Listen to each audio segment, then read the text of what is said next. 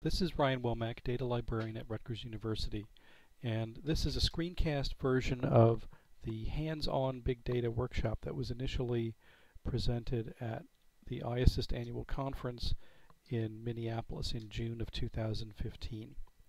I wanted to, in this part zero of the video series, talk about some of the setup issues for those of you who may be uh, new to this and have some questions about what we're going to be using in terms of software and configurations. So if you're comfortable with your computer setup, uh, you feel confident navigating around, installing things, um, and you've worked on the command line in a terminal, um, and you've you think you know a bit about what cloud services are about, um, you've used Amazon Web Services before, you can skip this video. There is no content in this video um, about big data. It's all about setup. But I wanted to provide some background what people new to this might need to complete some of the parts of this workshop. So um, I work in a Linux environment for the most part because it is easier to uh, work with other uh, servers and web tools that primarily also work in a Linux environment.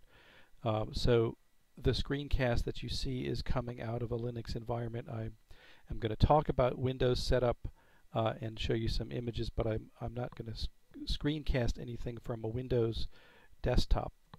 Um, if you're working on a Mac, uh, you have the ability to get into a terminal that behaves, you know, just like a Linux um, terminal, like a Unix shell, and your experience should be very similar. There are really not any issues for Mac users.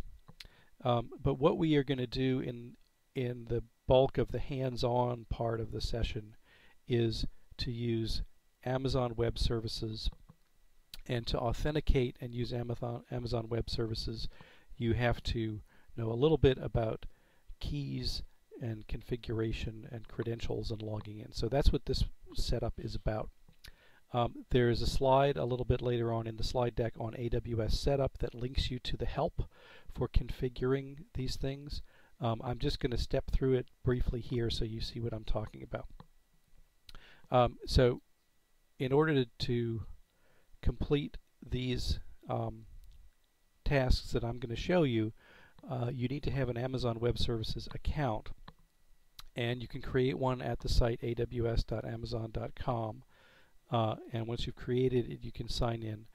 Now it does take a few hours for um, the account can be created but it'll take a few hours for you to actually be able to uh, run services on Amazon. It takes a while for you to be set up that way.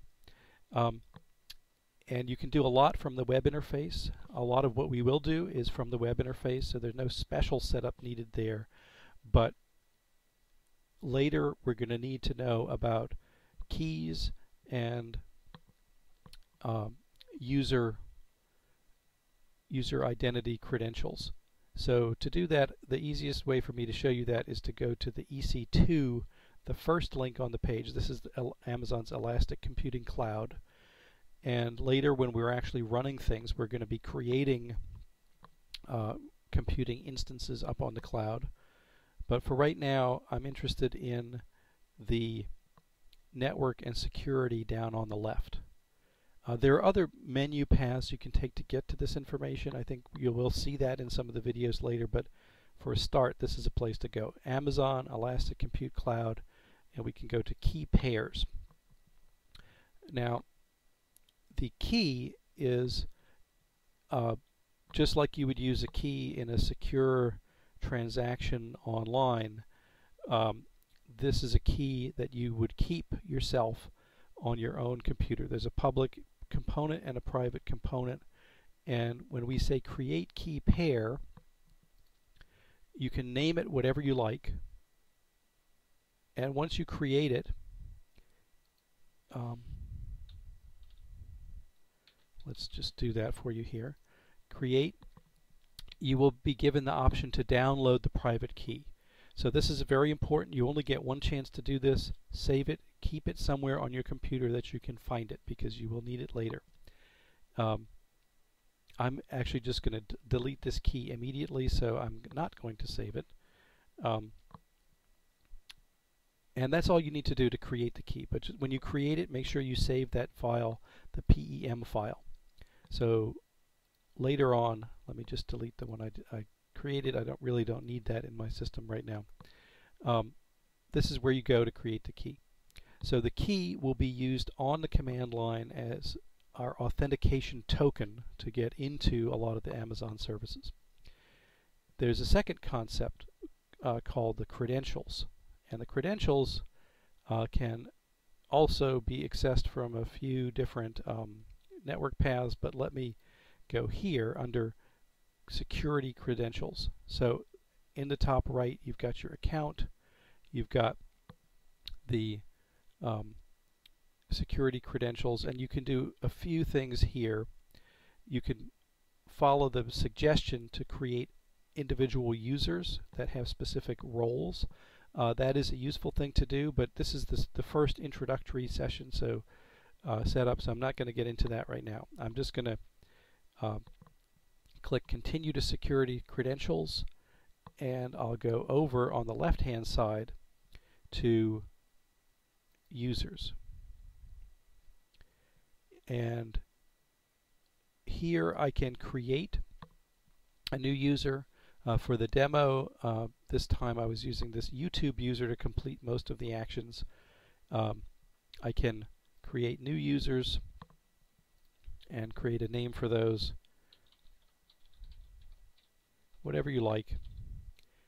And it will then by default generate an access key. So when we click create we have a, a, warning message. This is the last time that user security credentials will be available for download. We have to download those. We're going to need them. So go down to the bottom right, click download credentials. Again, you'll get a file. Put it somewhere on your machine that you can find it and um, let's not do that right now. Uh, let's we'll look at an existing credentials file that I have. So the credentials are actually just a couple of little uh, identifying tokens and we're going to use those again in other cases for authentication but you only get one chance to download them. So download them when this first appears, uh, and I'm just going to get get rid of this um, new test user in a second. The other thing once you create a user is the user will have permission to do certain things on the system. You want to attach a policy and I'll talk about which policies you need to attach later in those parts of the of the workshop, but just be aware of this mechanism. The um, policies give a particular user the ability to do things in different parts of the Amazon system. So that's what that's about. Uh, let me go up to my users and I want to select this user and delete him. If you lose a key or you you know you forgot to save it, you put the key somewhere else, it is just a few menu clicks to delete the keys for an existing user and generate a new one. No real problem with doing that, just that you, you are going to have to reset your logins in other places. Alright, so that's what we need to do uh, in the Amazon Web Console. We can create users and create security credentials for them up here under the account security credentials. We can uh, also create key pairs. I like to use the key pair link from the EC2 cloud just because um, it's clear that then these are the keys that will apply to the EC2 services. All right, that's, that's part one of the setup. The second part of the setup is you are going to need access to a terminal window, a shell, a command line interface like this. Now on Mac users will have this as a direct option. Um, Windows users can do one of two things. Windows users can use a helper application that simulates a shell. Uh, one simple, easy to install one is called PuTTY. And you can Google that, go to the download page, grab a version of it. Very simple uh, software, easy to run. Uh, let me just Google a screenshot for you. Um, and it gives you a menu driven environment that will enable you to open up an SSH connection to different web services.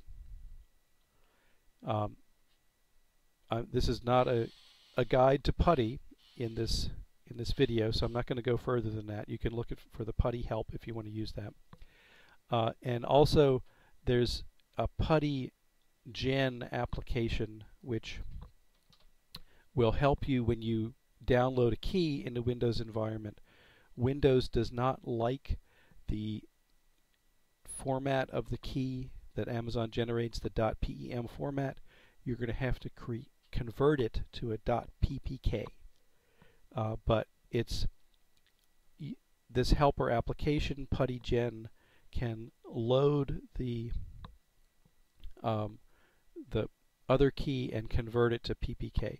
There are instructions on how to do that on the Amazon site that are linked. Um, but I'm not going to go further in that direction in the video right now.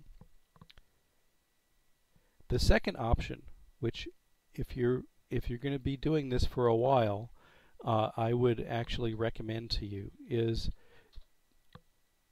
instead of relying on one small application, you can actually get a more full-featured Linux-like environment for Windows. And there's a project that does that called Cygwin. You can Google Cygwin, go to the site, and select uh, the options to install.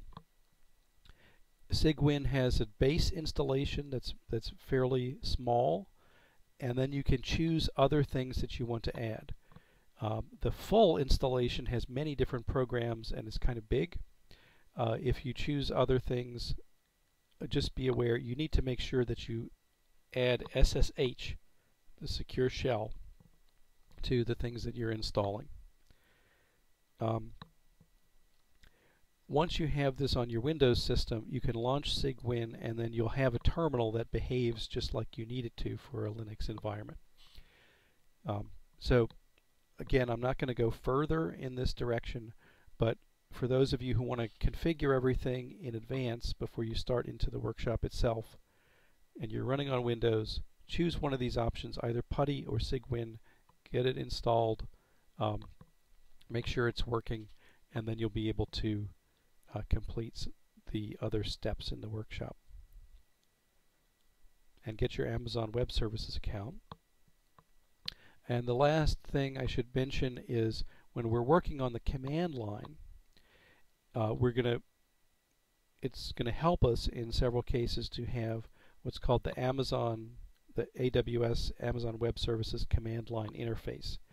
So uh, the link in the slides will take you to the, the section of the uh, Amazon documentation that describes how to install it on different systems. And you can just follow those instructions. They're pretty detailed. They, they, I don't think there are any issues with those. And what this will do is uh, provide an application in your terminal environment called AWS uh, that you can run to do certain things.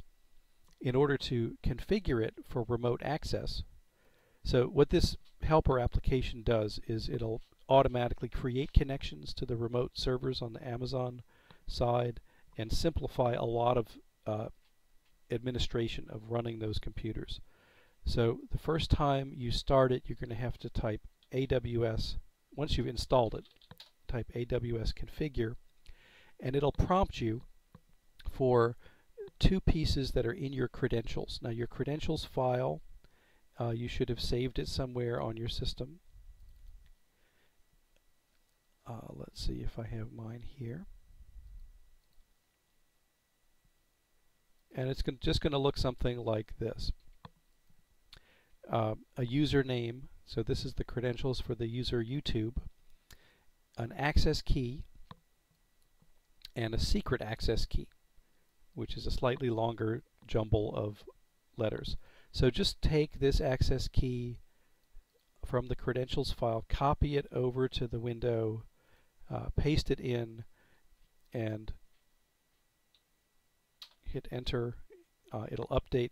Uh, mine have already been entered, that's why I'm seeing this um, prompt that shows me the part of the code. It's not going to harm me really to re-enter them here, so I'm just going to do that. And then it'll ask you for your default region. Now, um, I'm in US East. There's uh, other parts of the of the US. There are some other global regions. You should be able to find this information from your login um, in Amazon. Uh, or you can Google a list of the Amazon regions and figure out which one you want to connect to as your default. Um, and then an output format uh, that you want as your default. I just have defaulted mine to text. You can actually do uh, JSON and some other output formats. And that's it. Now I'm configured and later in the slides when we ask you to run the, the AWS commands, uh, they will run correctly. If you haven't done this configuring, you, you won't be able to authenticate. You'll type AWS something and you'll get an error that comes back and says you're not properly authenticated. So we'll see some contexts where the key the, that ends in .pem is used and some contexts where these credentials are used uh, for the remote access. And uh, those will come up later. But I wanted to do this video uh, for those of you who who were wondering about the setup requirements uh, and so just once again make sure you can operate on AWS you have uh, a terminal to type commands into uh, that will get you out on the internet uh, a working terminal environment. Uh, you've configured your credentials in the Amazon command line interface and you have saved your keys and credentials to a known location, a known private location for you that um, you can access. But anyone who has those credentials can log into your account, so don't put them up on the internet. And the keys that I've just shown you here on the video, uh, I'm going to make sure that I go back and delete all those things before these videos go live. Um, so don't um, not really going to help you too much to get into my Amazon account with those credentials. All right. Um, that's the setup. Thanks for sticking with me for that. And part one will introduce the workshop and give you uh, the actual big data part, get into something more interesting. Thank you.